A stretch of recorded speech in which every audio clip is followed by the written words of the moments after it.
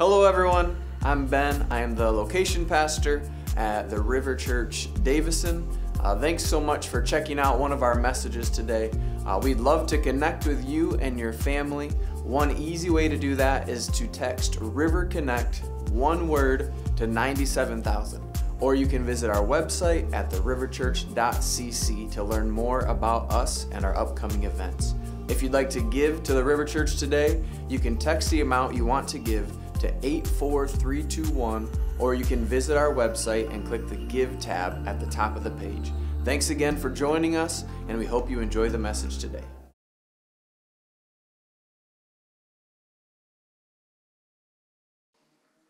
Well, good morning. Uh, thank you to Pastor Josh for allowing me to be here. Um, it is good to be. I've spoken here, like, started 30 years ago. So some of you have known me for 30 years, and I've known you for 30 years, and what that means is I'm old. right? It, but it is always good to be back here. Um, it's Dr. Johnson, just Doc. I'm one of the pastors. My office is in the Holly location, but I bounce around a little bit. Like next week, I'm speaking in Davison. And so it's exciting to get to see a lot of people and a lot of uh, newer friends and also friends from, let's just say, decades. okay? Uh, we are starting a new series um, today that's going to go throughout the summer. You probably have a pretty good idea what the topic is by the bumper video, right? The book of Proverbs. So, Pastor Josh Combs, who's our lead pastor and our uh, location pastor in Goodrich, and his wife Jen wrote the whole book.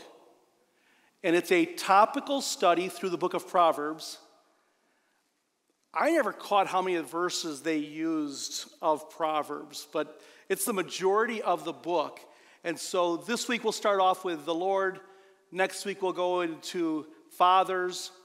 On Mother's Day, we're probably going to talk about mothers. Well, you guys, you, you, get the idea of this, don't you? Okay, and so, um, but that is this is a book. You, it's a hardcover. You can get it on Amazon, but um, we have them at guest services back there in the corner for their, their twenty dollars. But again, a hardcover book going throughout the summer. Read through at your own pace. I think the first three chapters are on the Lord, um, but then we're encouraging you for the next four months to read through the book of Proverbs four times. Take a chapter a day, maybe do something different. Why don't you try possibly four different translations? And so uh, we often use the ESV. Um, maybe go back with your, for me, like a King James version. And so uh, just different translations as we go through, just to get a feel for um, the passage. Now, I realize some of the months don't have 31 days, so on the 30th day, you might have to read two chapters of the Bible. But um, it, it, is, it, is, it is a good thing to do.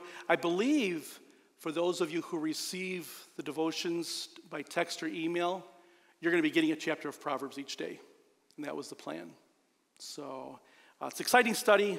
Um, quite the project they took on in their free time. of writing a book, but um, they've been working on this for a couple years. So um, I'd like to go ahead and, and pray. Father, it's good to be here. Thank you for the opportunity to speak. I thank you for the message you've been working on my heart, and I pray that I'd be able to clearly communicate it. We thank you for the book of Proverbs and just on um, how to have eternal life and then how to have a blessed life by you. We thank you for the practical instruction that applies for today. Thank you for being here with us today. We pray this in Jesus' name. Amen. I've already confessed that I'm old. So, a little bit ago, when I turned 60, my wife said, What do you want to do for your birthday? And it was a Tuesday, and she had taken a vacation day, so I took a vacation day, and we celebrated at the Detroit Zoo. That's, I'm either six or 60, right? Because I get excited about the zoo. We enjoy the zoo. We love going through. There are certain exhibits she lets me know that we're not going to. We just avoid some of them. But although we are a dog family, if that makes sense to some of you, our dog family, we love the big cats. And so going to see some of those big cats and going to those exhibits that are huge exhibits, but of course, when you're seeing that mammoth animal go across and all the muscles in that, you always want to see the little cubs, right? You got to see the little babies and stuff like that and, and just enjoy them. And so we, we, we love doing that kind of thing. We moved to Auburn Hills just over 30 years ago from Cadillac, Michigan. And, um, and again, for us, anything past the Jesus sign is up north, right? Anybody, anybody raised that way with me also? Okay. And so um, we lived up in Cadillac for five and a half years.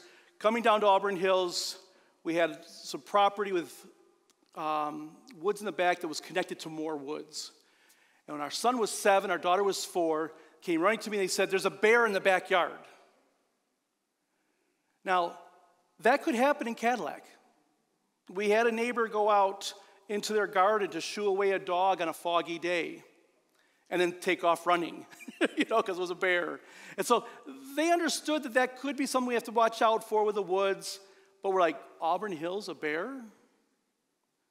So we contact authorities and, um, and the DNR. And but before I did that, I went in the backyard and saw a print, a paw print, that was so big. And then when I went to step down, it went deeper than me, so I knew it was more than 125 pounds. You can laugh a little bit there, right? But not too much. But um, so I knew it had to be a larger animal, right? And so while I'm still there, my neighbor comes over. We're looking at this, we're following these prints, and we're like, it doesn't seem like a bear print. An investigator comes. Well, what's funny about that is, we're on the phone and mentioned this, they kind of mocked us on the phone, like, yeah, Auburn Hills, a bear. Yeah, uh, your, your kids are just pranking you, which is very possible. And so within minutes, though, an investigator's there. And we're like, what, what is this all about? He goes, here's the prints. And he goes, yeah, there's, like, can't tell me there's nothing. There's no dog that's going to have this kind of print, right? And we know what a horse is going to be, right? So you're talking that kind of neighborhood, right? But he said, well, actually, there's a panther on the loose in the area. I'm like, pardon?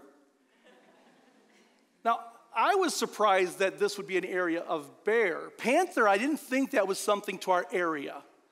And um, he said, what happens is people get these exotic pets when they're young and cute. And then they, you know, they can tickle them and hug them and feed them a little bottle and that kind of thing. And then eventually they get larger. And at some point, they're so large, they just release them or they escape. As I go into this topic of the Lord, I want you to pause for a moment and just think about your view of the Lord. Is he that cute, cuddly little cub that you get to tickle? I mean, I thought about do I wear my t shirt today? I do not have this t shirt, I'm mocking it, okay? That's, you know, Jesus is my homeboy. You know, it's like this mindset we have of bringing God to our level. Maybe we're trying to be up at God's level. And I, and I know I could go into a whole message today and go 1 John 4 8. Anyone who does not love does not know God because God is love. Very true. God is love. And then Romans 8, 38, and 39, I could, I could bring this next. Josh, you know you'd love doing this, wouldn't you? I mean, this is, this is right there. For, for I am sure that neither death, nor life, nor angels, nor rulers, nor things present, nor things to come, nor powers, nor height, nor depth, nor anything else in all creation will be able to separate us from the love of God in Christ Jesus our Lord. I mean, nothing can separate us from the love of Christ. I mean, God loves us. Yes. And then I'd probably give some kind of follow up with my message of going to like Deuteronomy 6 5. You shall love the Lord your God with all your heart, with all your soul, and with all your might. And you would feel so cozy, wouldn't you? And you'd come out of here with some warm fuzzies and feel so good. I'm not going there today. I want to, and we need a balance with this. I, I want to, yes, God loves us. God loves us so much, He sent His Son. But as soon as I get into seven verses in the book of Proverbs, chapter 1, verse 7, it talks about a fear of the Lord. And, and I think that's the balance with this. You, you have that cub, but I, I also, when I'm at the zoo, I like barriers. I, I don't want, I mean, yeah, I would love to go to South Africa and visit a couple of our, our missionaries who are down there and go on a safari and see these animals up close from a distance with the vehicle running. Right? It's, it's, the motor's still going. We're not turning it off and see if it starts again. I've seen that in too many movies. I, I want to enjoy, but the sense of awe and fear. Proverbs 1 7 says, The fear of the Lord is the beginning of knowledge. Fools despise wisdom and instruction. The word fear is used 21 times in the book of Proverbs. I know I'm not going into a popular sermon topic. I understand that. But if you would stay with me for the next half hour on this and just see what Scripture says. Let's listen to Scripture. I'm not taking away from the love of God. I just want to change our thinking a little bit. The love of God comes out of a fear for God. A fear of God does not come out of the love of God. And I'll, I'll show you what I mean as we go through Scripture. The Brown Driver Briggs Hebrew lexicon says that this word fear in Proverbs 1 7 is terror and reverence. And I see the, the both sides there that, that dread, terror, but to stand in awe and respect. Matthew Henry has a commentary that was written over 100 years ago that I love to use. He says, Of all things that are to be known, this is most evident that God is to be feared, to be reverenced, served, and worshiped. Peter Lange, in his commentary on the Holy Scriptures, says verse 7 is not to be regarded as part of the subscription, superscription. It's not part of like the preface of the book. It's not like the intro of the book saying what's going to happen. He says, but it is the general proposition introduced in the series of didactic discourses that follows. It's a motto. I think we would say it's, it's your thesis statement. It is what the whole book is about, is the fear of the Lord that everything else builds off of this. Jim Newheiser, in opening up Proverbs, says, The fear of the Lord is the beginning of wisdom, in the same way in which a foundation is the beginning of a house. Everything that comes after the foundation is built upon it. By the way, are you trying to confuse guest speakers by changing decor of the place? It sure is looking nice, by the way, isn't it? But we know it's all built off the foundation. That's what he's saying about this book. This book is built off the foundation of the fear of the Lord. It's, it's the given that we start with, and everything else comes from there. The fear of the Lord brings the mercy, grace, and love. Allen Ross in the Expositor's Bible Commentary says the Hebrew word for fear captures both aspects of shrinking back in fear and of drawing close in awe. It's going to be hard to explain that, right? How do I shrink back by drawing close? It's that, that whole sense of, of realizing who God is. You know, that song, I Can Only Imagine, when we finally see Christ. Yeah, I know I'm on my knees. I'm, I'm falling down. I'm, I'm, not, there's no way I'm standing. It, it, it, to, to see who Christ is. As I was going through this, I started thinking about. I read this when I was reading a, um, a Jewish book about Genesis. And he was talking about that if you go through each of the early sins through Genesis, they're all based on pride. And, and we know that eating of the fruit was on pride. And, and he just, he starts going on, but he mentioned with Cain the problem being pride is the Jewish mindset. And he said that Cain could have believed that he was the Messiah. That Eve, Adam and Eve are told that you're going to have coming from you is going to come the Messiah, the one who will say, he may have thought it was him. And so when it came to his offering, now what's the difference between a gift and an offering? A, a gift we, we, we give to one another, you, you may give this a gift, you know, to, to someone who works for you, works with you, but an offering always implies I'm giving something to someone greater. And do we remember that God is greater? It's not just a gift. It's an interesting way to think through the story of Cain and Abel. Was Cain's frustration is that his gift was not received, but he didn't view it as giving an offering.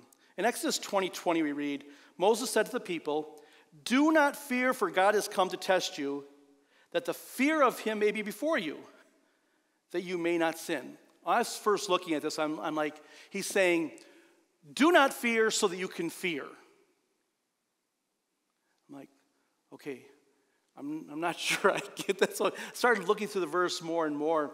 And the concept was this first part of do not fear is do not fear that God is reckless.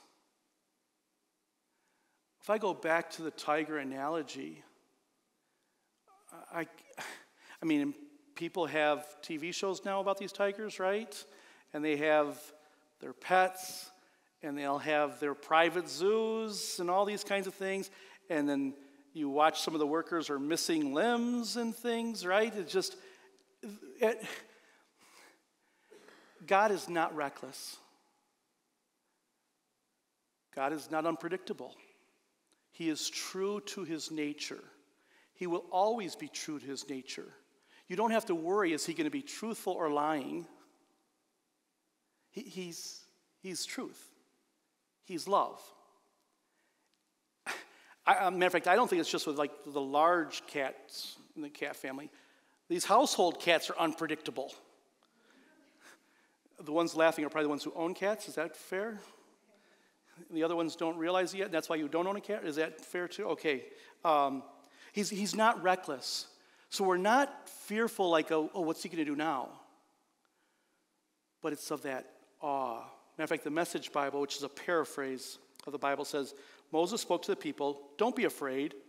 God has come to test you and instill a deep and reverent awe within you so you won't sin. I think too often we have this view of the Bible as don't do this, don't do that, don't, don't, don't. It's almost like the diets I'm, i read about. They might as well just summarize the diet for me saying, if it tastes good, don't eat it. And we have that view of the Bible like the Bible's just to wreck my life.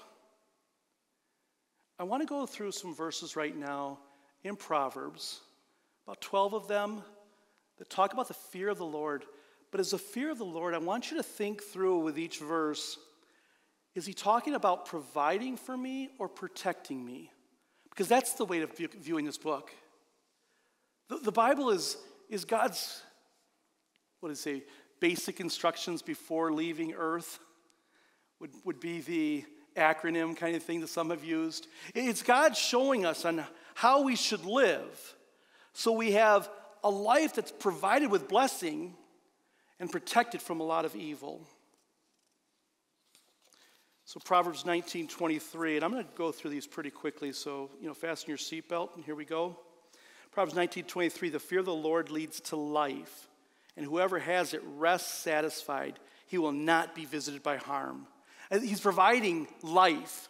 He's providing rest that's satisfied. To be able to sleep at night saying, I, I haven't, there's, there's nothing where I've done something, someone wrong. The fear of the Lord has led me into righteousness, and I can, I can be at peace of knowing that God is in control. My life has purpose, value, meaning, a calling. And I won't be visited by harm. He's protecting me from that. Proverbs 8:13. The fear of the Lord is hatred of evil, pride, arrogance.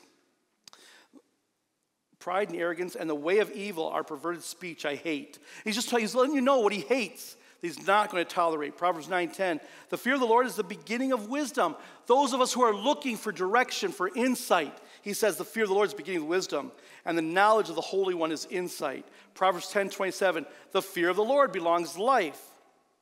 But the years of the wicked will be short, providing life, protecting us from that other. Proverbs 14:26. In the fear of the Lord, one has strong confidence, and his children will have a refuge.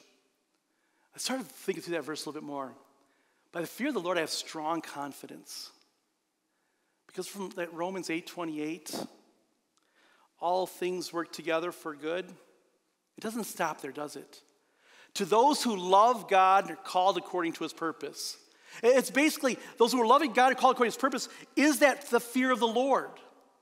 And I can have strong confidence because I may not know what the future holds, but I know who holds the future.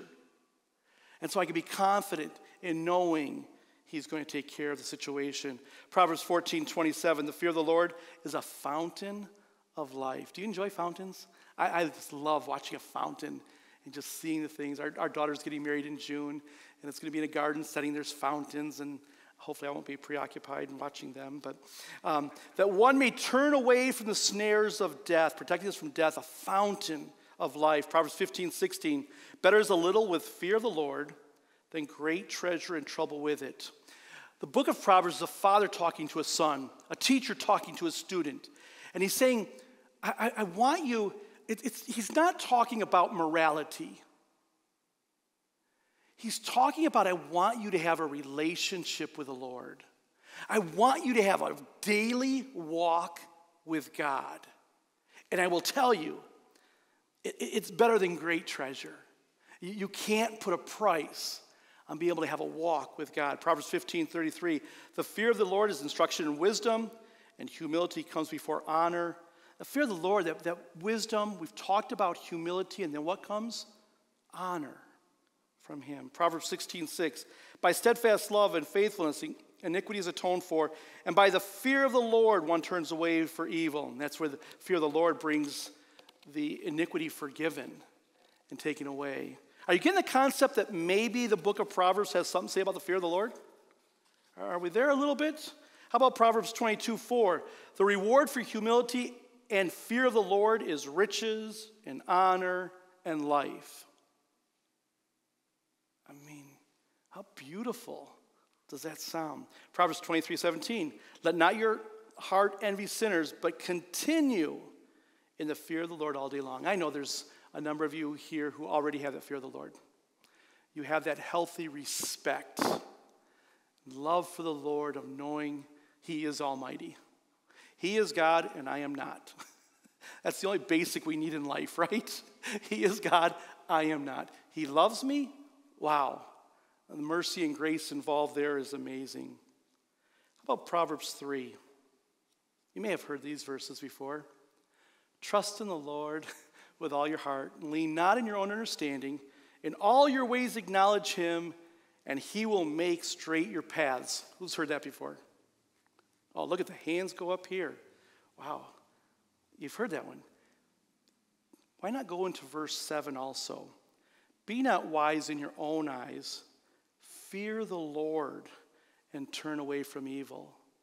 We, we all pray about, you know, trust the Lord and He's going to direct you. He's telling you how direct you. Fear Him. That's where the direction comes. Fear the Lord. Have, have a fear of the Lord. That's where the instruction comes. As I was going through this, I'm like, where else does it talk about a fear of the Lord? And I realized a number of the authors in Scripture talk about fear of the Lord. It wasn't just Solomon and the writers of Proverbs, but Job, which would be the time of Abraham, says in Job 28 28, and he said to man, Behold, the fear of the Lord, that is wisdom, and to turn away from evil's understanding. Moses in Deuteronomy 10 says, And now, Israel, what does the Lord your God require? of you, but to fear the Lord your God, and to walk in his ways, to love him, to serve the Lord your God with all your heart, with all your soul, to keep his commandments and statutes of the Lord, which I am commanding you today for your good. Very interesting. What's he com- requiring us? To fear the Lord, And then comes love and service. But it starts off with a healthy respect of who God is. Later on in chapter 10, it says, You shall fear the Lord your God. You shall serve him and hold fast to him, and by name you shall swear. He is your praise. He is your God who has done for you these great and terrifying things that your eyes have seen. Starts off with a fear of the Lord, then leads to serving, and your love comes. But you have this fear because you've seen these great and terrifying things. And, and what great and terrifying things would the Israelites have seen? And we can go through that with the book of Exodus. And again, he's talking about uh, so many things there with the plagues and, and how involved he was in their lives. In Joshua 24, Joshua writes as a closing comments after leading the people Now, therefore, fear the Lord and serve him in sincerity and faithfulness. Put away the gods that your fathers served beyond the river and in Egypt and serve the Lord. Fear the Lord, serve the Lord. Samuel in 1 Samuel 12, verse 14. If you will fear the Lord and serve him and obey his voice, and not rebel against the commandments of the Lord, and if both you and the king who reigns over you will follow the Lord your God, it will be well. that fear the Lord, it will be well. Later in verse 24, he says, Only fear the Lord and serve him faithfully with all your heart, for consider what great things he has done for you. Are you getting the concept that maybe Scripture talks about fear of the Lord?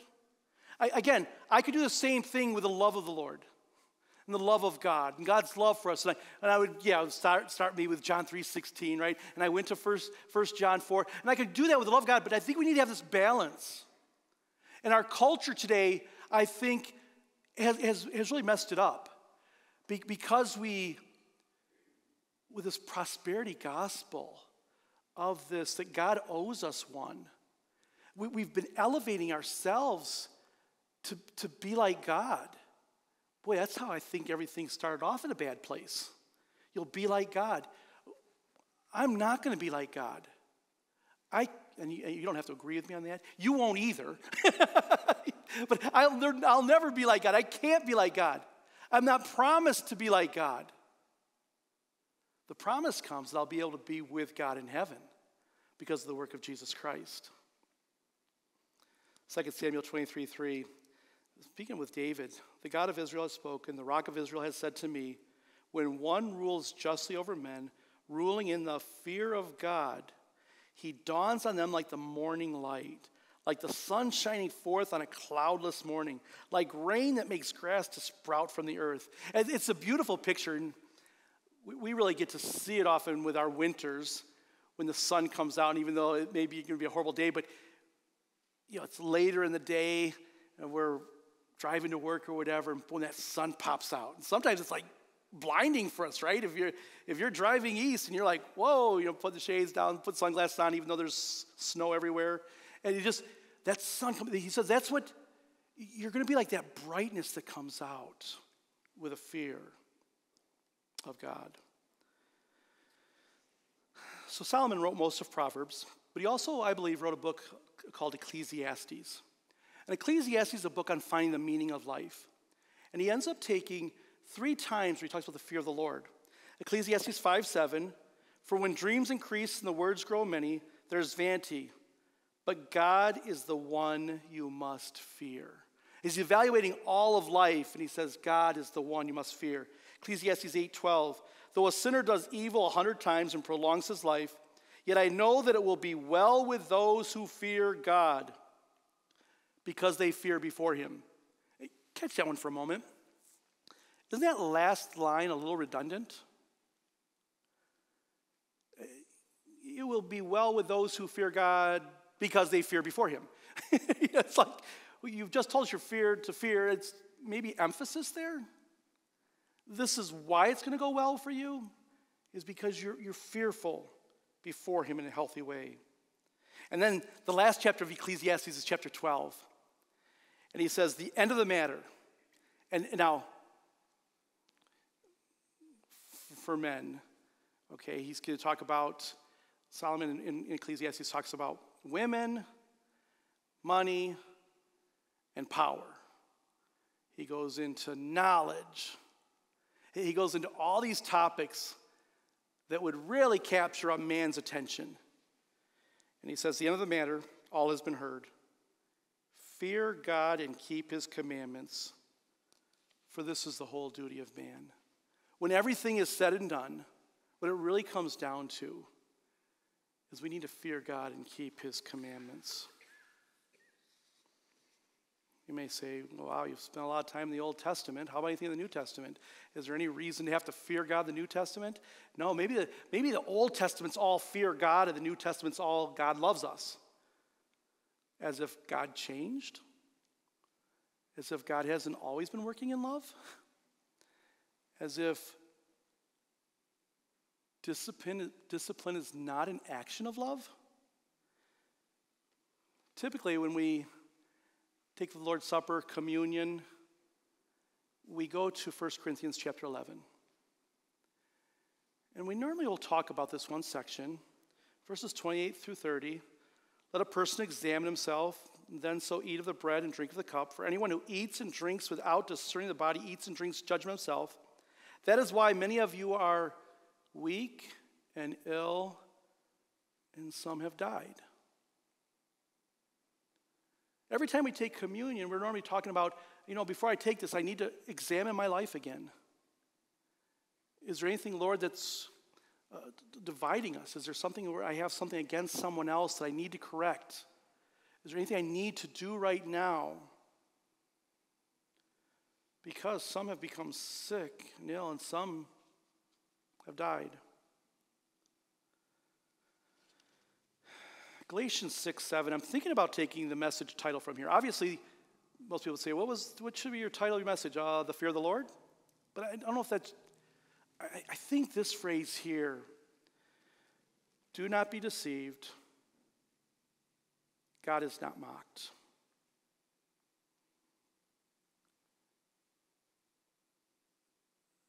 That phrase scares me. I don't have to be afraid per se. But it, it gets my attention that God did not just, it's not this deist mindset that God created everything and is now sitting back in a lounge chair and having some iced tea and just enjoying watching what's happening. I, I believe God is involved in my daily life. Are you with me on that one? Have you seen God involved in your daily life? Yes, right? Give him credit for that. He's involved in our daily life, which means if we want direction and we're going in the wrong direction, he might have to turn us around. And I'm probably the only one stubborn in this room, that it may be, he may have to forcefully turn me around for my own benefit, to do it for me in love. I think every message from now on, I'm supposed to reference my grandchildren. Is that supposed to happen now? Watching my son with his son now is fun. You're loving that too, aren't you? Because my little grandson is learning to crawl. He's getting ready to walk, and watching my son say he can't do certain things is a very loving thing. I love to see the love my son has for my grandson and giving him direction. Do not be deceived. God is not mocked, for whatever one sows, that will he also reap. I think we have to be very careful about being flippant about sin. This whole mindset that, oh, it's a little white lie, or cheating on something, inappropriate talk, uh, the bumper sticker that says, Christians aren't perfect, only forgiven. I get what they're saying, and theologically they're correct, because once you get saved, you're not perfect. But I'm fearful that people are going to take it to the sense of, well, then it's okay to sin because God's going to forgive me. I know I shouldn't do this, but, but God loves me. He'll forgive me. That's a horrible place to live because God is not mocked. Go back to the zoo with me for a moment. Think about those large cats. They see coming through. Yeah, I've watched these tiger trainers and be able to hug a large tiger. I mean, very loving. Not one of the things on my bucket list, and if it is, it's the last one on my bucket list. now, feeding one of the cubs in a bottle and flight, it sounds fun, but let's realize who God is and the Lord. And again, when I'm saying that, I, am already making a statement that Jesus is God.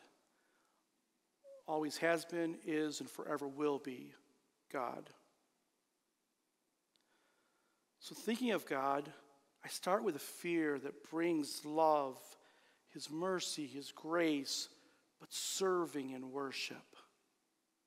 Because I realize it's owed to Him. He doesn't owe me anything. The only thing He owes me is to keep His word of the promises He said. For the person here or who's watching online right now and they're just not sure of even who God is. In Romans 1, we read, For his invisible attributes, namely his eternal power and divine nature, have been clearly perceived ever since the creation of the world and the things that have been made, so they are without excuse. I'm sorry, but you really can't say, I don't believe there's a God, and expect to stand before God in all of our sin, stand before God, and for Him to say, Why should I choose my heaven? And to say, Well, I'm, I'm a pretty good person. You know, compared to so and so, I'm, I'm, and it's interesting who we compare ourselves to. We, we like to like Hitler and some names like that. I, I haven't still heard somebody said, well, compared to Mother Teresa, I'm pretty good. Compared to Billy Graham, I think I'm a pretty good person. I, I haven't heard those as much, right? We like to compare. And definitely no one's saying, well, compared to Jesus Christ, I'm a pretty good, per-. no. We've all sinned and fallen short of the glory of God. And what we've earned, we deserved, our wages is separation from God, it's death. But the free gift of God is eternal life in Christ Jesus our Lord. If you haven't given your life to God, realize you can have that relationship with Him, but it's only through Jesus Christ. Why else would He let His Son die? It's through Jesus. For those who have given their life to the Lord, I encourage you each day to close off with Psalm 139, verses 23 and 24. It says, Search me, O God, and know my heart. Try me and know my thoughts. See if there's any grievous way in me, and lead me in the way everlasting. You know, Father, I want a proper relationship with you and for you. I know I've gone through a number of verses this morning. For people like Jerry Stoff, who are math people, it was 40, I believe, Jerry. I went through 40 verses today. God's word does not return void. I could come here and talk about the fear of the Lord. My own words would be like, nah, I don't know. I still like love sounds better. But the verses we went through today, I think you have to understand where Scripture is coming from also a fear of the Lord. As we close right now, I would like for you to stand with me, please.